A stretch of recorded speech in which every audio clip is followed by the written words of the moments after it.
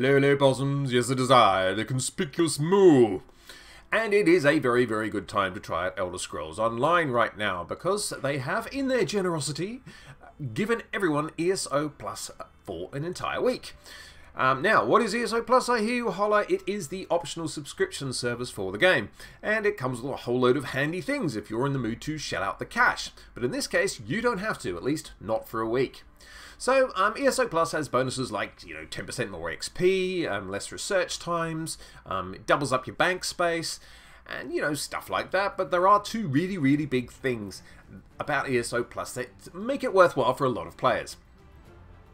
First of all, it's the access. Um, now, this week, should you accept the mission into Tamriel, you can enter and go to all of the places that either require you to own the expansion in the first place or pay the sub in order to pay it a visit. This does include everything all the way up to the latest expansion Blackwood, so it is a ton of new content for anyone who hasn't ventured outside of the base game. You can, for example, venture to Orsinium, which is one of my personal favourites, and get into the Orcish politics.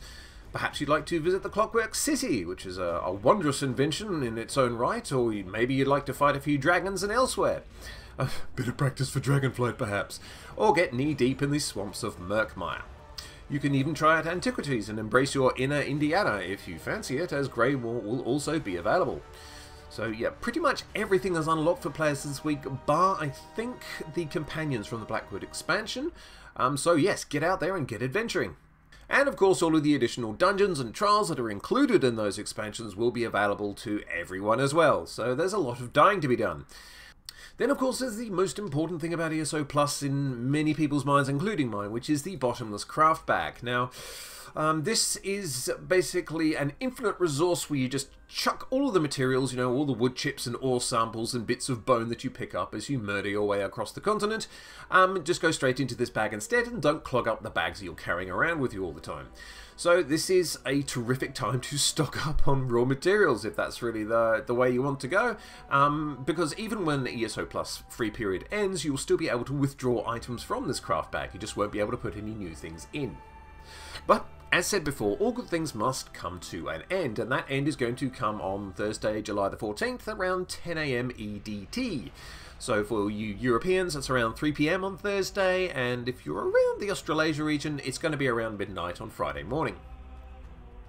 So, if you're interested, all you need is a copy of the base game to get started, and I believe it's on discount on Steam at the moment, and you should be able to pick up a copy for around about 10 bucks, which is several hundred hours worth of content straight out the gate.